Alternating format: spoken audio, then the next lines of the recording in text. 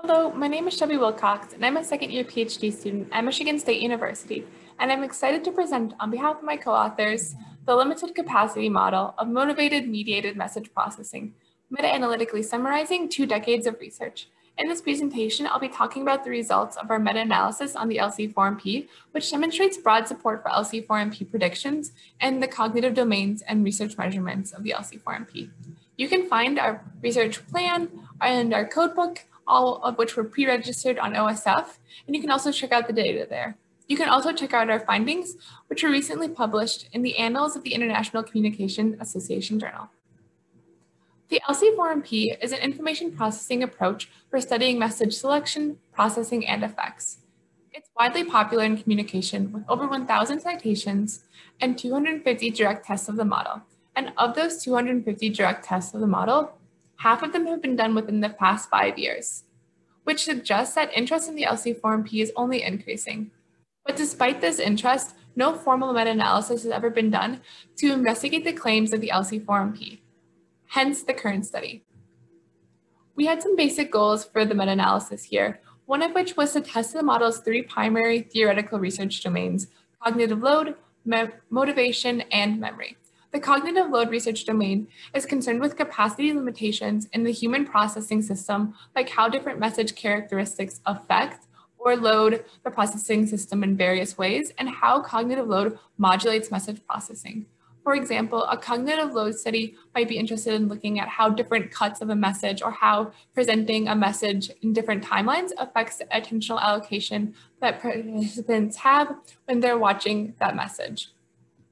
The motivation domain is concerned with understanding how the human motivational systems are involved in communication processes and how activation of these systems, an example, the appetitive or avoidant motivational systems, affect encoding, storage, and retrieval of messages.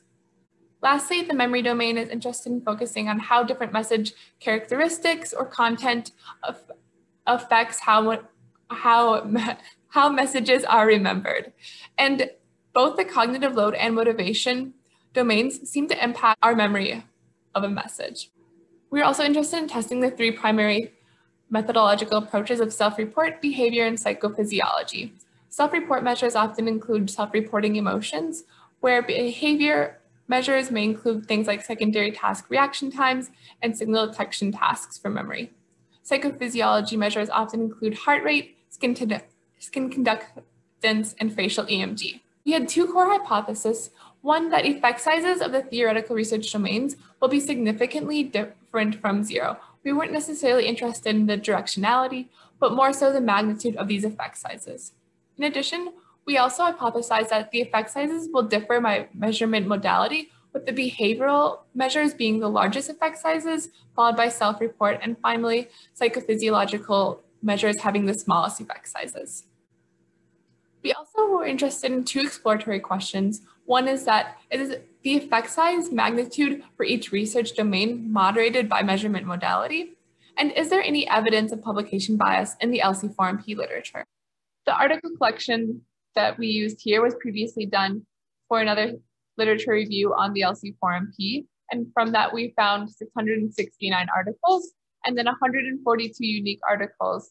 And we included or excluded various articles were that they had to use the approaches for the domains of cognitive load, memory, and motivation, specifically mentioned in Dr. Lang's LC4MP toolbox. And similar to the methods, they had to be the self-reports, behavioral measures, and psychophysiology measures mentioned in the toolbox. And so you can find that code book and more information on the inclusion exclusion on our OSF.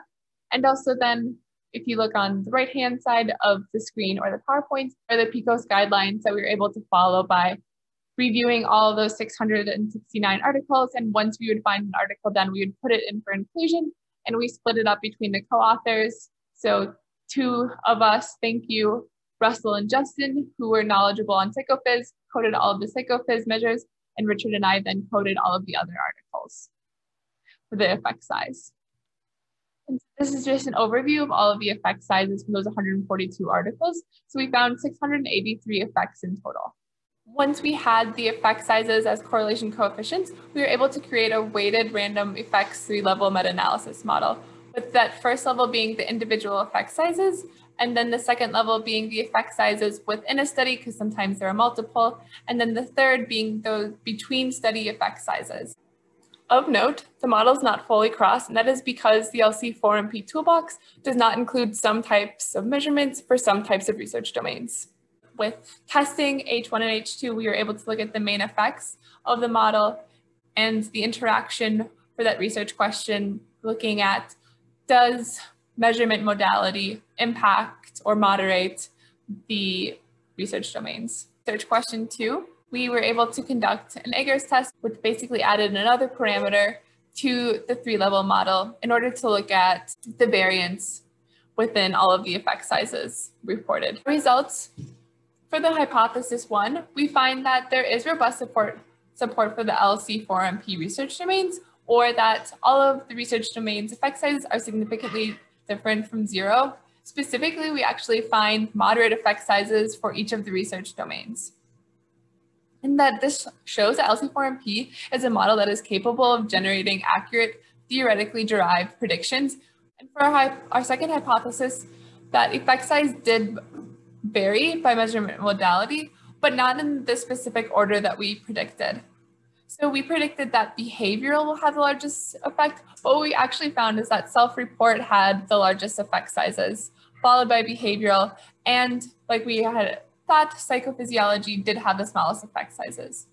And that this suggests that self-reports offer considerable explanatory power and are really useful in detecting LC4MP effects.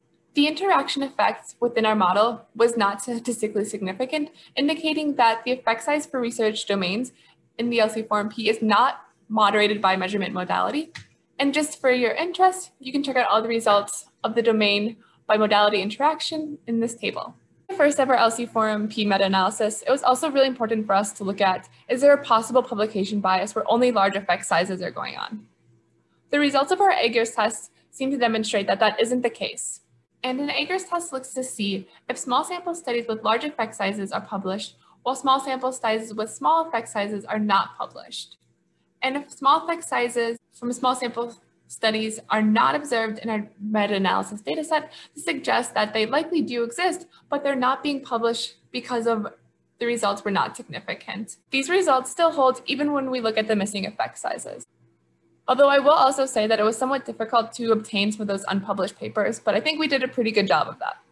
While this isn't evidence of publication bias, there does seem to be a strong emphasis on the LC4MP literature on the memory domain and also the use of self-report measures. Therefore, an interesting possible gap within the LC4MP literature are focusing on studies within those other domains or also increasing the use of behavioral measures or psychophys measures. To contextualize the results a little bit, by meta-analytically synthesizing 19 years of LC4MP research across 142 articles and 683 effect sizes, we find support for the core research domains in addition to the typical approaches of the LC4MP.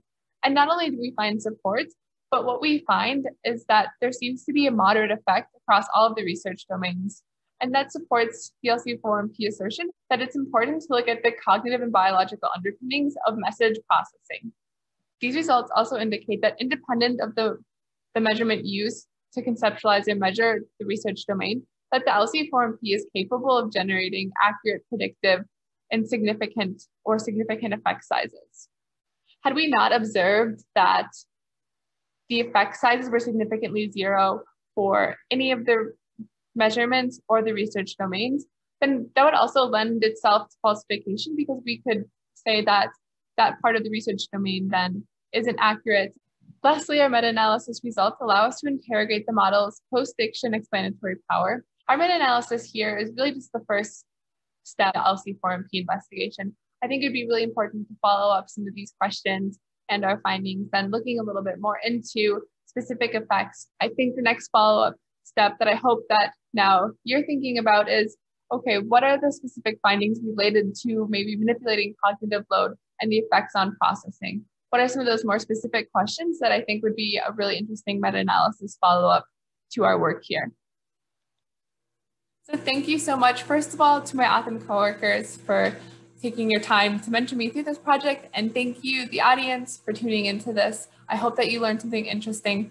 And now I look forward to your questions. Feel free to contact me. And don't forget, you can check out the OSF and our pre-registration, our open data and all the materials if you're interested in running a meta-analysis. And you can check out the paper in Annals of the International Communication Association.